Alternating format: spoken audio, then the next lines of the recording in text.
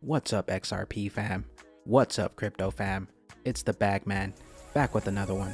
How's everyone doing out there? I hope you all are doing well, holding strong, stuffing those Halloween bags with a whole bunch of XRP goodies. And I wanted to jump into this Bank of America. We had another sighting at the 2020 swell, and Bank of America in a slide, a demo slide. Supposedly, Ripple has taken that down and replaced it with something different. So I wanted to jump into this and see what is really going on behind the Bank of America and the whole Ripple. So let's go ahead and dive into this video.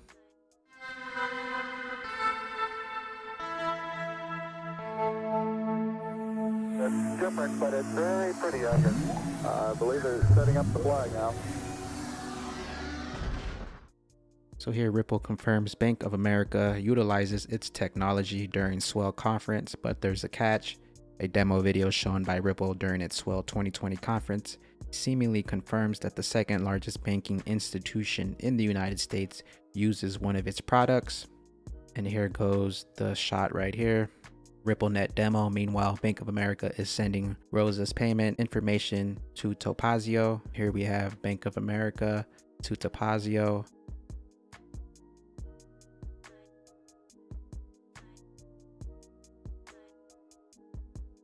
Ripple finally confirms Bank of America. Ripple's San Francisco based headquarters blockchain based payment network has long touted itself as the next in line to replace legacy SWIFT system. Banks across the globe have been using the SWIFT network for international settlements for close to 500 years now. Ripple poses serious competition to SWIFT as it can complete payments in seconds and at lower costs compared to the SWIFT system. Several renowned banks, remittance providers, and financial institutions have already adopted Ripple's tech, and Bank of America is apparently one of those banks using Ripple's products. Bank XRP showed a screenshot during the Ripple Swell conference. The screenshot entails Bank of America using Ripple's tech to transfer funds. Danger Mouse XRP suggested that BOA was using the on-demand liquidity service since that part of the video was about utilizing ODL. Once again, here goes the tweet right here. And supposedly Ripple has replaced this with just a common, another common bank or whatever. Also, we've had Ripple come out and told uh, Alex Cobb to take down a tweet regarding Bank of America. If you can kind of see it here, it says, Hi Alex, hope you are doing well. We noticed that you tweeted about Bank of America article. We are excited about these uh, about this news, but unfortunately this information was leaked prematurely and the content is not current. We are planning a larger campaign around the, uh, the actual announcement and would really appreciate it if you could remove the tweet so that we can launch a large campaign around the news when it goes live. We've also reached out to the publication to remove the article. Thank you in advance for your consideration. Yeah, no problem. We'll remove it now. So it looks like Ripple is trying to remove anything linked to Bank of America as if they're trying to hide something or wait for an announcement on maybe a particular date. So yeah, that was a tweet from Ripple to Alex Cobb and also the publication was also removed that also talked about Ripple and the connection with Bank of America. We also have the sector's most controversial project successfully develops blockchain technology that is used by a number of institutional partners, including Bank of America, the second largest American bank, works closely with the company since 2016, and a Ripple representative claims that they have worked on a pilot together.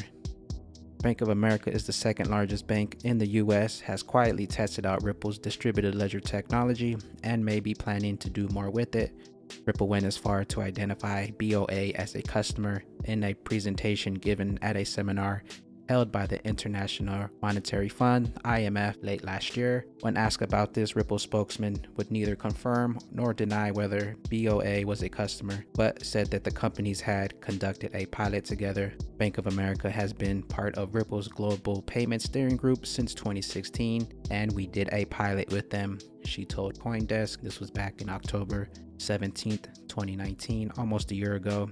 And here we have from Ripple Insights, we are committed to delivering innovations that support the evaluation of global payment networks We are pleased to join this steering group and explore practical applications for blockchain technology that will advance commerce in all regions of the world. Jason Teed, Head of Innovation Global Transaction Services at Bank of America Merrill Lynch. And we also have the RippleNet committee here. Since 2015, Ripple and an advisory team made up of a diverse set of leading transaction bankers have been building the rulebook, a common framework that ensures operational consistency and legal clarity for every transaction. This group actively advises on maintaining and enhancing the rules and standard as RippleNet grows. And here we have Bank of America Merrill Lynch once again one of the world's largest and most influential banks, BOA recognizes Ripple as truly innovative. From Bank XRP, Ripple Cross Border Solution, Ripple Distributed Ledger Solution remedies legacy correspondent banking infrastructure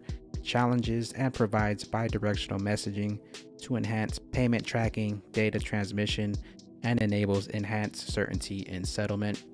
And here we have the innovation example Ripple Cross Border Solutions from Bank of America, uh, Merrill Lynch, Ripple's Distributed Ledger Solutions, Remedy Legacy Correspondent Banking Infrastructures, challenges, and provides bidirectional messaging to enhance payment tracking.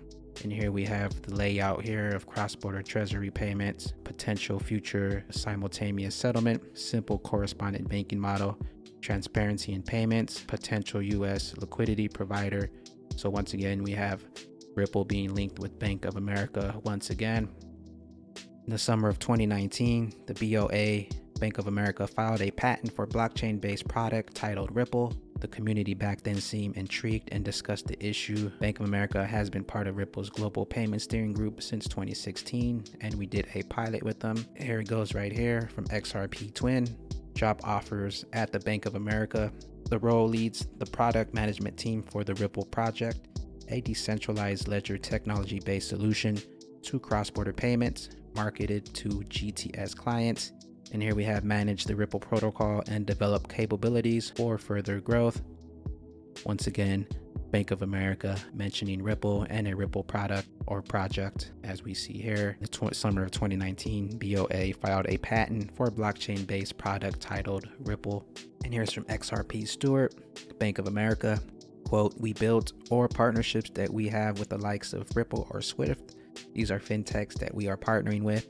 They've come through all of our rigor of legal and compliance, and we're able to leverage our banking as a platform to deliver to you. Here it is right here Bank of America, the uh, quote that we just read. RippleNet Committee. BOA has been a member of the RippleNet Committee, then known as the Global Payment Steering Group, since 2016. The RippleNet Committee is responsible for Ripple's Net Rulebook a common framework that ensures operational consistency and a legal clarity for every transaction. This group actively advises on maintaining and enhancing the rules and standards as the RippleNet grows. At this time, Christopher Kay, Bank of America's VP on Emerging Payment Technology from June 2017 to March 18, confirmed that Bank of America conducted a proof of concept at the time with Ripple. And here we go, right here. EP Consultant application program license to support proof of concept efforts with third party vendors, Modo and Ripple, which can provide enhanced customer experience utilizing vendors such as PayPal, Zelle, and Western Union payment methods utilizing agile methodology. And once again, we have Bank of America here on the RippleNet committee. And here goes from Panos. Got an email by Ripple. It is now 100% confirmed that Bank of America is a Ripple partner and a RippleNet member. Banorte Bank is also a new addition and it's the fourth largest bank of Mexico. This was posted August 7th, 2020.